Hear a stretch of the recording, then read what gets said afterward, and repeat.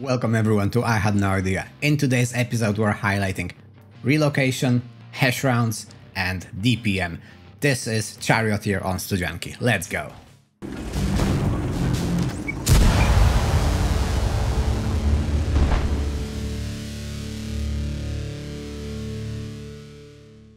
Charioteer, low amount of hit points, high mobility, no armor, but great ammunition choices.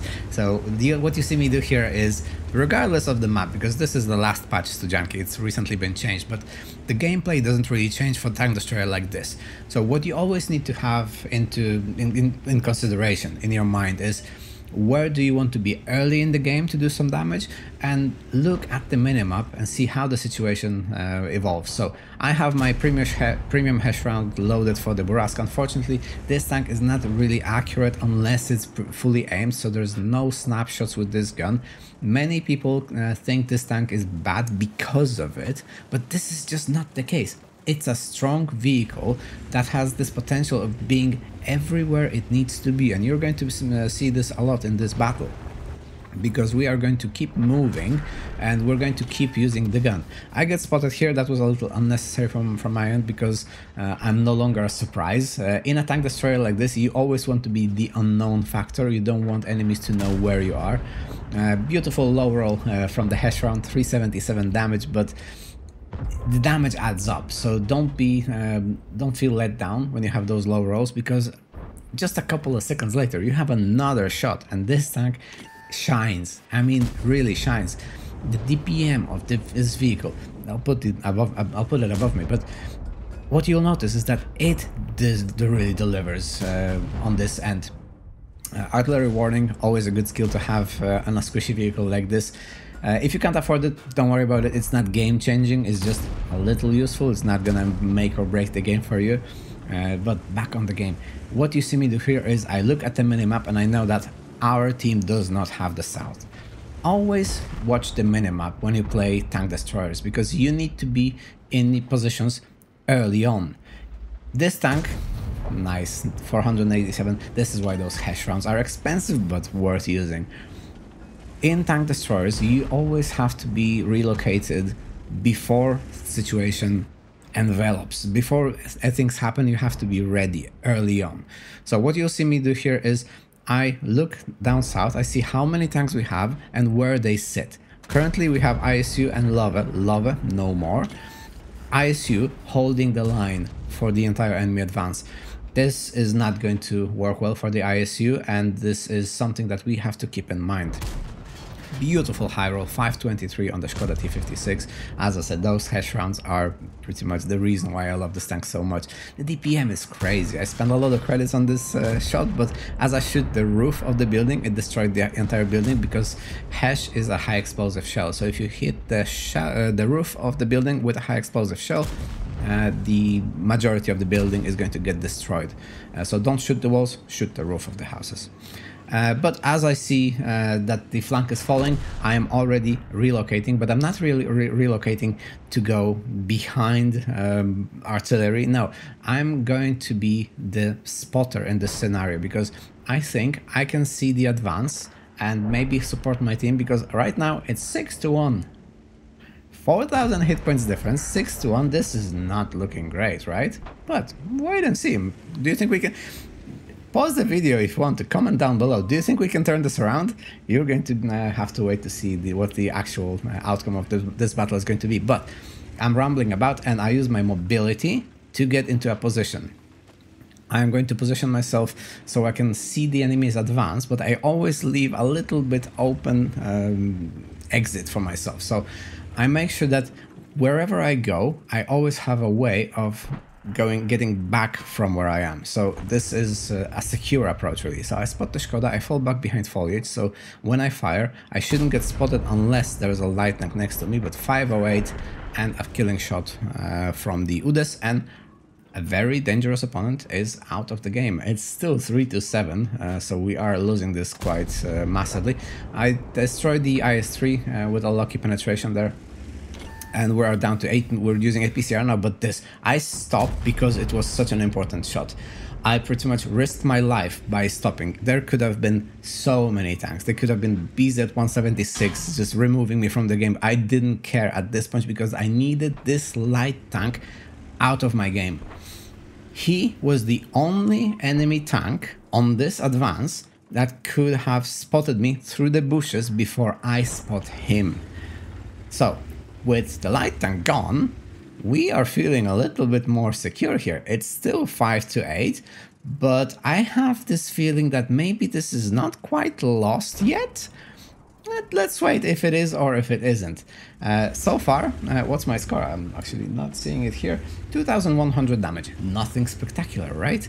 But this tank doesn't care about how much damage you do early on because with this beautiful, fast and accurate and really highly uh, damaging vehicle, you can do more than 2000 pretty much in every game.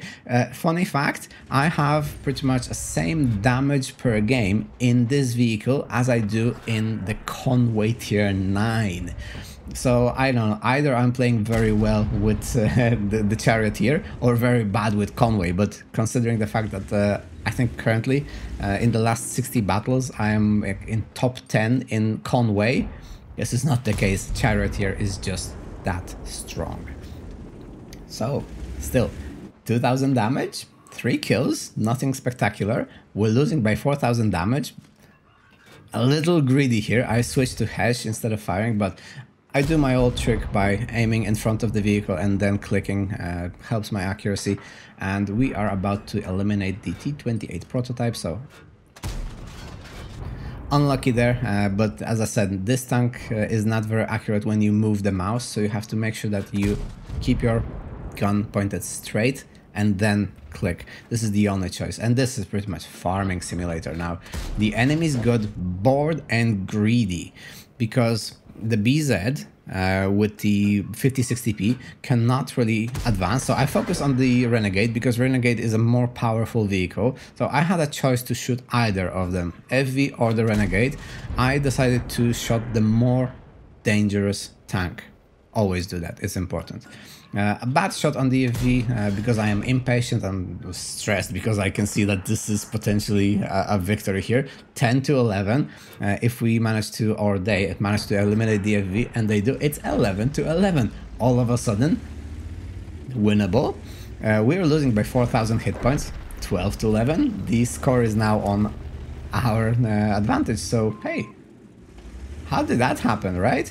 Just a, a, lonely tank destroyer in a lonely position because I, instead of falling back and sitting on the ridge line and you know giving two last final shots, I decided to take my tank uh, forward and be in the game, be aggressive, be brave sometimes you got some camo, it's not great, but enough for uh, heavy tanks. So heavy tanks didn't spot me, light tank did, but we managed to uh, take him out because he was surprised to see me there. Uh, he drove in between the bushes. Uh, I guess a tip to a light tank, if you're approaching this position, you make sure you are always inside of the bush line. Uh, there's no way I would be able to spot an LT432 in the bush. That, that would just never happen. So, hey, I guess uh, their light tank's mistake is uh, helping me to win the game. Uh, but it's been a while since we saw the BZ and the 5060p, and where are they? I think they have fallen back. And honestly, good choice. What else they could have done? They have noticed Skoda T56 pushed in, died. They've noticed light tank push in, die. They simply knew that they cannot go in.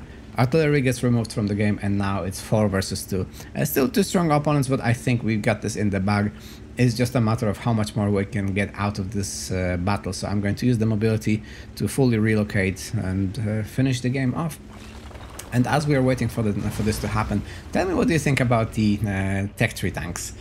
Especially tanks like this. When you think about other tier 8 tank destroyers, Scorpion most uh, more often than not, uh, it really seems to pale in comparison, but consider this anyone can have a Charioteer. It's free. It only takes time to get. And to be honest, it's a tank that is fun. Uh, it's a tank that can carry. And at the same time, it's a tank that does not cost you any money. So why don't we stop comparing uh, Tech Tree tanks to premium vehicles and just compare them to how they uh, work in the game overall. I personally uh, like my Tech Tree tanks. Uh, I'd rather play a Tech Tree tank rather than the uh, premium tank. It just, I know, feels better, if you know what I mean. So a little uh, impatience here, but I do the old trick uh, of the bushes. So I drive forward, try to see if I can see him. Uh, I'm not sure about those bushes without leaves. They always make me nervous. So I choose the, the proper bush, drive forward, spot the heavy tank, fall back a little. There's a shed in front of me, so I have to uh, lean to the side. I can't quite pen that, but maybe he's going to give me a side. Ah, it unfortunately didn't. See, the drown, uh, drawback of uh, the Charioteer is because the premium ammunition, premium ammunition is HESH, uh, you don't get those high penetration rounds um, as premium, but even the standard ammunition works. It's really, if you want to play it with just the standard ammunition, it still works very well because it has good penetration, high shell velocity. Uh, the tank's really easy to use. The only thing you have to keep in mind is to try and be fully aimed as often as possible because as you saw in many many occasions if you're not fully aimed the shell is not going in and uh, if you just accept this fact, trust me, you are going to be one happy charioteer player. Uh, I personally really, really like this tank. Uh, I don't know, challenge yourself. Maybe if you're thinking about an easy and fun 3 Mark to do, Charioteer is definitely one of the tanks to consider. Good platform, mobility, accuracy, penetration, massive uh, HESH uh, damage it has it all. And considering the fact how many shells we have missed, we are sitting at almost 5000 damage in a tier 8 tank. And, you know, of course, I highlight the best battles on YouTube, but consider this. This is not that unusual for Charioteer. You can have those results very often. 5000 damage in a Charioteer is not a 1 in 100 games uh, if if in a skilled hands, this vehicle can deliver 5k game pretty much 1 in 10 or 15 games. It's really, really that strong. And as I was rambling, 5.5 thousand damage. Let's go to the garage so I can tell you some more about it. Unfortunately, Wargaming breaks the replays every time they release a patch, so we'll have to look at the website, but this is the Ace Tanker in the Charioteer that you have just watched. Uh, surprisingly, we did have a blind shot, so 6.3 thousand damage instead of the 5,500 I thought. Massive, massive uh, experience for the tank, but this is not unusual. Just keep in mind that if you decide to shoot HESH, it's going to cost you quite a lot.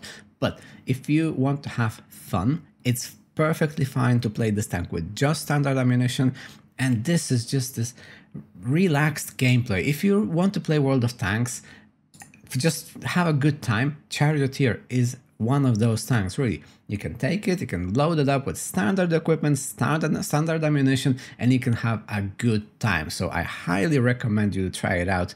It costs nothing after all, uh, just credits, and credits are made by playing the game, so why don't you try it? Let me know uh, what do you think about uh, itself, uh, and let's try to separate Tech Tree from uh, Premium. I know the situation in World of Tanks is uh, far from perfect, I'm fully aware of that, uh, but let's try to keep it positive, right? Tech Tree tanks can be good, and this is a proof. Take care. I hope you enjoyed today's video. If you'd like to see some more, check out one of these two. And if you're waiting for fresh content, stay tuned. I'll see you soon.